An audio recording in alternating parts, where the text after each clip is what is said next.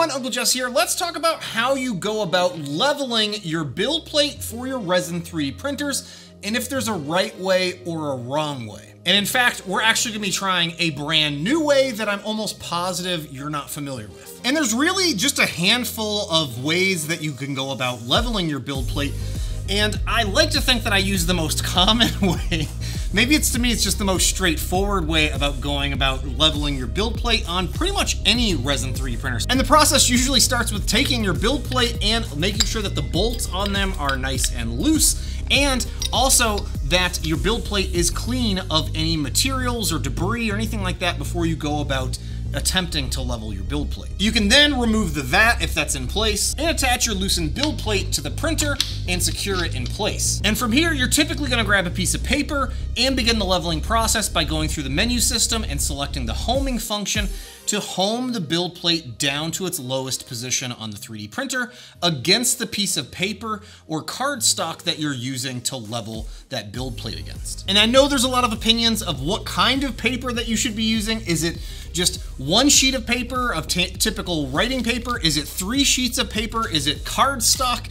I've used so many different varieties of pieces of paper and it doesn't really seem to matter that much on the machines that I typically work with. But for the most part, I've been using this manual for a string trimmer here and just the paper on that or I'll use the actual paper from the manual for the Resin 3D printer. And while holding the build plate with one hand, you wanna use your other hand to tighten all of the bolts so it's nice and secured. And when I do my leveling, I like to make sure that the paper doesn't move at all. However, I know some folks like to move the bed up ever so slightly so that there's a slight drag on the paper. Again, I've tried both methods and I honestly don't think there's that much of a deviation between the two depending on the printer that you're working with. You can then go into the menu system of the printer and change the set Z value to the positioning that your build plate is in currently. The set Z doesn't impact the homing of the 3D printer whatsoever. What it impacts is the actual starting position of your 3D print. And another alternative that some folks I know like to do is actually directly leveling the build plate with a tiny amount of resin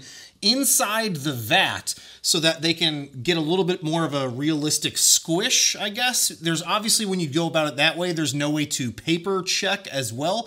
So you're kind of just pressing down and tightening the build plate. So now that I have this printer fully leveled and ready for printing, Let's talk about the newest way that I've just found out about leveling your resin 3D printers. I honestly haven't tried it out yet to see if it's any better or any worse, but the benefit of it is it's supposed to help alleviate some of the elephant's foot if you're printing things flat on your build plates, which typically I'm not very often printing anything flat on my build plates. I typically have almost everything supported. But if you do have a magnetic flex plate attached to your Resin 3D printer, it certainly aids in the ability for you to go off and print things flat on the build plate and more easily get them off. And in their blog post, they mentioned the reason why you're seeing the elephant's foot is typically with ChiTu-based Resin 3D printers, the actual build plate will lower further than the end stop switch. And I believe I'm seeing that here on this 3D printer. So what they mention in the blog post is that you're gonna end up printing a file to actually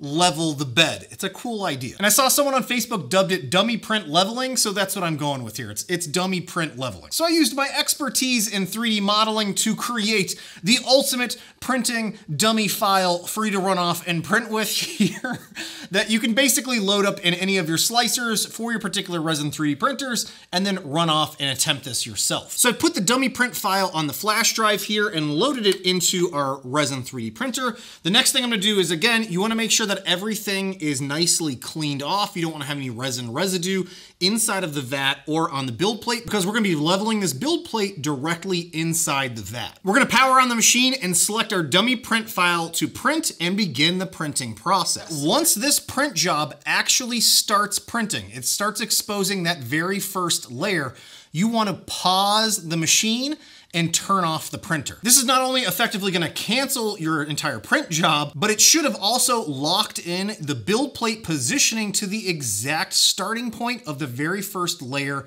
of your 3D prints. And this is when you can hold down the build plate with one hand and start tightening the bolts with the other. And now your build plate should be perfectly leveled for that very first layer of your 3D prints. So let's actually test this out and see if this new method is actually better or worse or just the same as my typical way of using paper to level your build plate. And obviously to do that, we're gonna be testing these here on the Elegoo Mars 3, which happens to be the sponsor of today's video. Elegoo is the makers of these beautiful Elegoo resin 3D printers that I oh also love printing with, the Elegoo Mars 3, the Saturn series of printers. The newest is the Saturn 2, which is an 8K resin 3D printer, as well as their huge big boy, the Elegoo Jupiter. And the Elegoo Mars 3 just so happens to be one of my absolute favorite resin 3D printers. It's the perfect combination of pricing, build volume, and print quality. Oh, and not to mention how fast this thing can print. If you're interested in more information about any of Elegoo's products that I'm showing off in today's video, you'll find links to those down below. And a big thank you again to Elegoo for sponsoring today's video. And just like that, our prints have finished.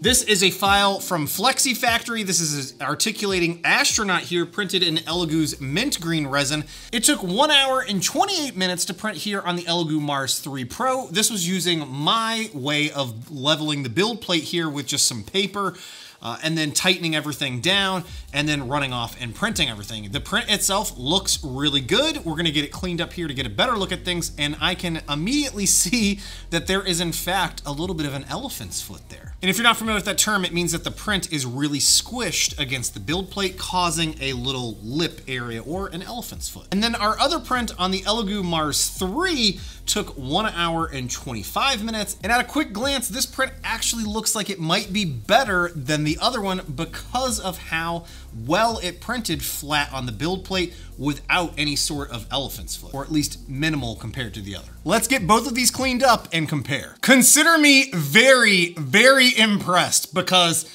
after getting these prints cleaned up, I can definitely see that the print with the new method of leveling, that dummy print leveling, my print easily looks better than the version that I typically just level with. Again, this is really specific to if you're planning on printing things flat on the build plate like this. And after really closely examining these, I can definitely see still a little bit of uh, squishing or an elephant's foot on the updated method, but it is nowhere near as much as what's occurring on the way that I have always done it up until now. So I honestly think that I'm gonna be looking at this new way of leveling my build plates from here on out. This is a fantastic new option when it comes to leveling your build plates, especially if you're looking at printing things flat like this astronaut articulating figure here from Flexi Factory. And kudos to John for actually creating that blog posting and detailing how to resolve this again, very impressed with the results that I'm seeing from this. So with the results that we were able to see here, would you consider changing the way that you level your build plates for your resin 3D printers? I know I'm now gonna be heavily considering swapping over to this way just to get better quality prints, especially again, if I'm looking to print things flat or directly on the build plate. I also want to take a minute to say a big thank you to all my Patreon supporters for your continued support. If you're interested in my resin 3D printer settings, including my support settings, you'll find those over in my Patreon. But this was a really cool test that I'm very happy that I took the time to actually experiment with this, and I hope you at least try it out for yourself to see how it goes. But let me know in the comments if there's some other method of leveling your build plate that I didn't mention that you actually do. I'd be interested in checking that out as well. Hey, thanks again for watching all. I'll see you next time. Bye now. All right, there's a reason why I saved this portion of the video to the very end where I try to remove the prints because I'm 99% sure I'm just gonna screw them up getting them off. This one here doesn't have a flex plate, so I'm gonna try and get this under there as best I, oh, there we go. Woo! it worked! Let's try the flex plate. Oh, that's coming right off.